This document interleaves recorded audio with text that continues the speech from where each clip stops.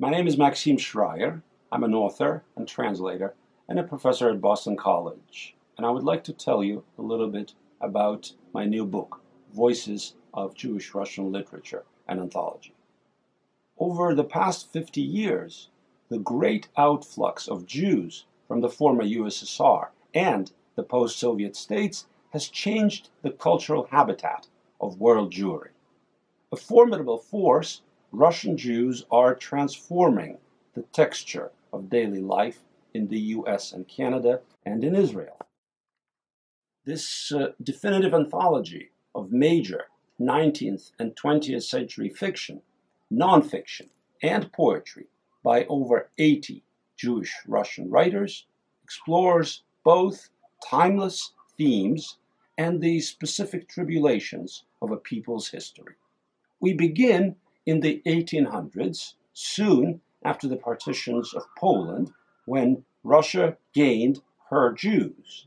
And we conclude our story in the 1990s with the collapse of the Soviet Union.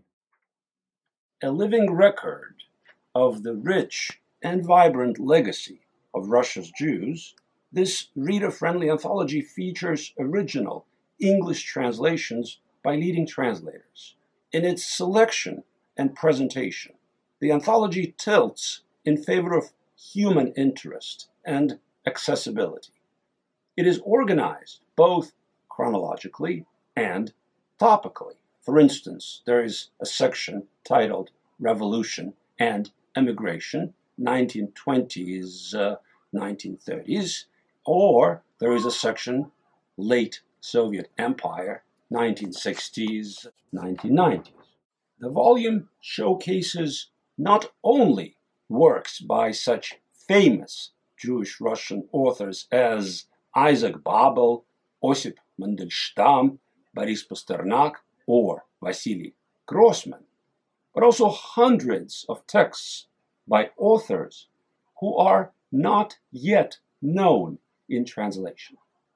In fact, most of the translations in this anthology are either first English translations or new English translations. Voices of Jewish Russian Literature is more than an anthology. It is a living memory, a space of survival, and a record of success. We would like this book to facilitate both the preservation and the proliferation of the rich legacy of Russian speaking Jews. We hope you enjoy the book, and we look forward to telling you more about it. Thank you.